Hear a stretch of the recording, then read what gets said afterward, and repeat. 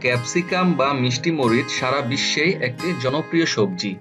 বাংলাদেশে এর ব্যবহার কম হলেও এর জনপ্রিয়তা দিন দিন বাড়ছে। এর উৎপত্তিস্থল হল দক্ষিণ আমেরিকার নিরক্ষীয় অঞ্চল। ধারণা করা হয়ে থাকে ব্রাজিলে মিষ্টি মরিচের উৎপত্তি স্থান। মিষ্টি মরিচের আকার ও আকৃতি বিভিন্ন রকমের হয়ে থাকে, তবে সাধারণত ফল গোলাকার ও ত্বক পুরো হয়ে থাকে। মিষ্টি মরিচ আমাদের দেশীয় প্রচলিত সবজি না হলেও ইদানিং এর চাষ প্রসারিত হচ্ছে। বিশেষ করে বড় বড় শহরের আশেপাশে সীমিত পরিসরে কৃষক ভাইয়েরা এর চাষ করে থাকেন, যা অভিজাত হোটেল ও বিভিন্ন বড় বড় মার্কেটে বিক্রি হয়ে থাকে। এছাড়াও মিষ্টি মরিচ বিদেশে রপ্তানির সম্ভাবনাও প্রচুর, কারণ সারা বিশ্বে টমেটোর পরে দ্বিতীয় গুরুত্বপূর্ণ সবজি হচ্ছে মিষ্টি মরিচ। আজকের এই ভিডিওতে আমরা ক্যাপসিকাম বা মিষ্টি মরিচ চাষাবাদ সম্পর্কে জানব। ভিডিওটি ভালো লাগলে অবশ্যই সাবস্ক্রাইব করবেন। তো শুরু করা যাক।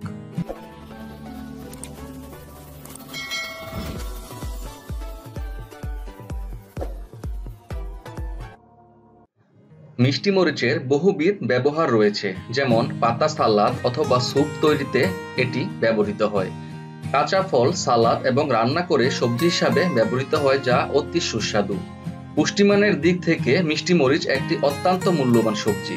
এতে প্রচুর পরিমাণে ভিটামিন সি থাকার কারণে এবং অতি সহজেই টবে চাষ করা যায় বলে দেশের জনসাধারণকে মিষ্টি মরিচ খাওয়ার জন্য উদ্বুদ্ধ করা যেতে পারে।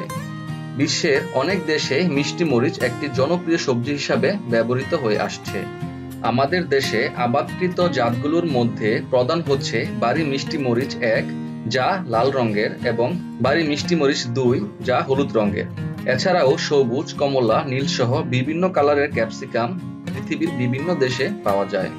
ক্যাপসিকাম বা মিষ্টি মরিচ চাষের জন্য দোআঁশ বা বেলে দোআঁশ মাটি ভালো। মিষ্টি মরিচ খরা ও গোড়ায় পানি জমা কোনোটি সহ্য করতে পারে না। মিষ্টি মরিচের বীজ বোনার উপযুক্ত সময় হল অক্টোবর থেকে নভেম্বর মাস পর্যন্ত। প্রতি শতকের জন্য এক গ্রাম বীজ দরকার হয়। বীজ থেকে প্রথমে চারা তৈরি করে নিতে হয়। এজন্য বীজগুলোকে বারো ঘণ্টা পানিতে ভিজিয়ে রেখে আগে থেকে তৈরি করে রাখা বীজতলায় দশ সেন্টিমিটার দূরে দূরে লাইন করে বীজ বুনতে হবে। বীজ বোনার সাত থেকে দশ দিন পর চারা তিন থেকে চার পাতা হলে মাঝারি আকারের পলিথিন ব্যাগে চারা স্থানান্তর করতে হয়। এরপর মূল জমি চাষ ও মই দিয়ে ভালোভাবে তৈরি করে নিতে হবে। এরপর বেড তৈরি করে নিতে হবে। প্রতিটি বেড চৌড়া আড়াই ফুট করে রাখতে হবে। দুই বেডের মাঝখানে নালা রাখা দরকার। প্রতি শতক জমির জন্য গোবর চল্লিশ কেজি, ইউরিয়া এক কেজি, টিএসপি এক দশমিক চার কেজি, এমওপি এক কেজি, দস্তা বিশ গ্রাম এবং জিপসাম চারশো পঞ্চাশ গ্রাম প্রয়োগ করতে হবে। নভেম্বরের শেষ সপ্তাহ থেকে জানুয়ারি প্রথম সপ্তাহ পর্যন্ত রাতের তাপমাত্রা অনেক কমে যায় বলে পলিথিনের ছাউনি দিয়ে রাখলে ভেতরের তাপমাত্রা বেশি থাকে। যেহেতু ক্যাপসিকাম, খরা ও জলাবদ্ধতা কোনোটাই সহ্য করতে পারে না, তাই প্রয়োজন অনুসারে জমিতে সেচ দিতে হবে। কোনো গাছে ফল ধরা শুরু হলে খুঁটি দিতে হবে যাতে গাছ ফলের বারে হেলে না পড়ে। জমি সব সময় আগাছা মুক্ত রাখতে হবে। মিষ্টি মরিচ সাধারণত সবুজ অবস্থায় এবং পরিপক্ক লালচে হওয়ার আগেই মাঠ থেকে উঠানো যায়। সাধারণত সপ্তাহে একবার গাছ থেকে ফল সংগ্রহ করা হয়ে থাকে।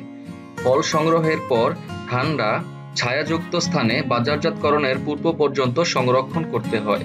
তবে ফল সংগ্রহের সময় প্রতিটি ফলে সামান্য পরিমাণে বোটা রেখে দিতে হয়। আজ এ পর্যন্তই। ভিডিওটি ভালো লাগলে অবশ্যই সাবস্ক্রাইব করবেন। অচিরে আমি অন্য কোনো ফসলের ভিডিও নিয়ে আপনাদের সামনে হাজির হব। সে পর্যন্ত আল্লাহ হাফেজ।